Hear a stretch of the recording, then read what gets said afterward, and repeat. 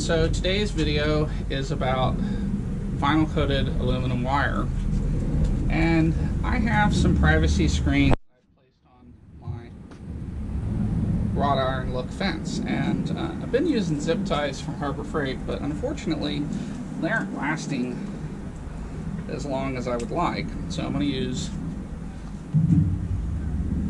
aluminum wire. Just not that piece. It's too short. So the reason I chose aluminum is it, it won't rust.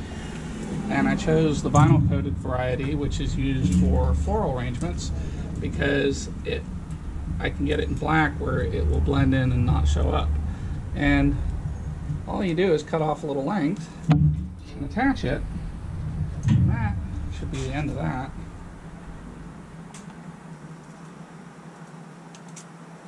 And this is available on Amazon for about $6 for 50 feet of it.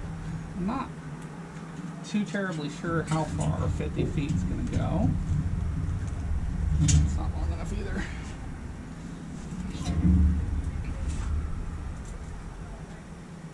What I'm going to do is change.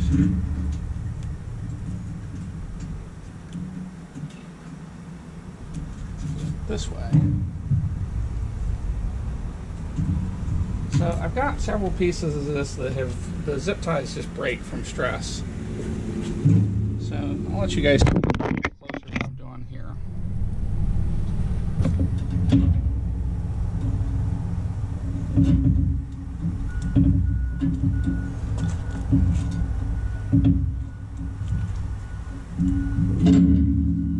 There isn't anything particularly magical. That's really all there is to it. So Thanks for watching. I hope you guys found this helpful.